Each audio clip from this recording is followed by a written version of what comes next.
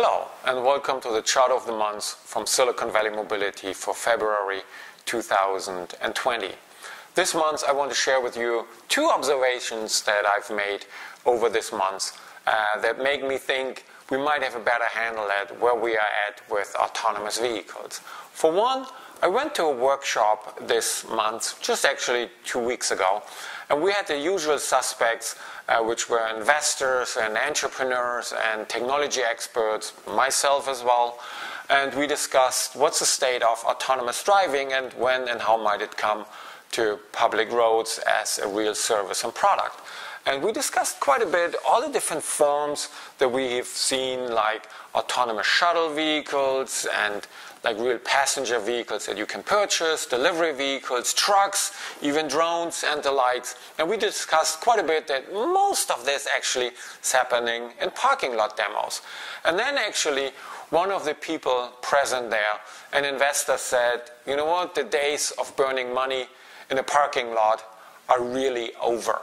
So that I found really very poignant, bringing it to the point and saying, we spend so much passion and also investment and excitement about all these look ma, no hands, vehicle can drive itself in a parking lot demo, but that's over. We have to get serious now.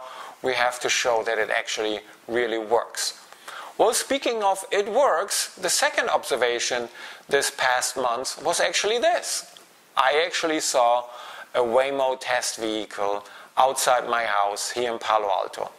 The exciting thing about this is that I live actually on the western side of Stanford campus, whereas I've seen for a long time these Waymo vehicles on the eastern side of campus, and certainly in Mountain View and uh, Los Altos, where you can basically find them any time of day, any day of the week, and they are testing and testing and testing.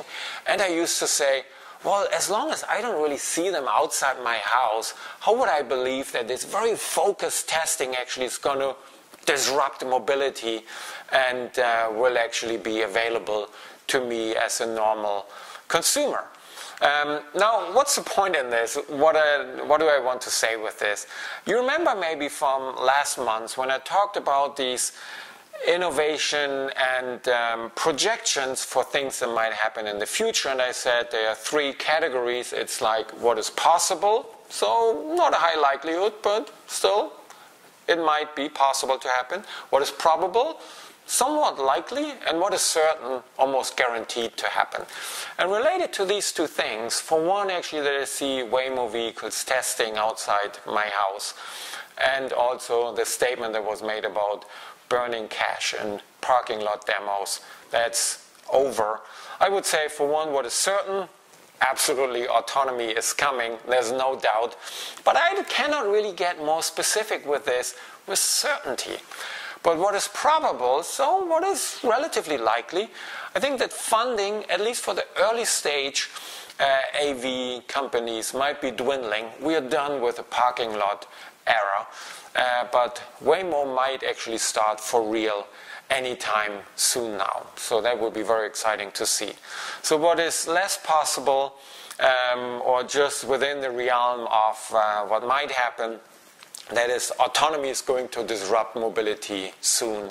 So there I would really say we don't really see enough what it might be.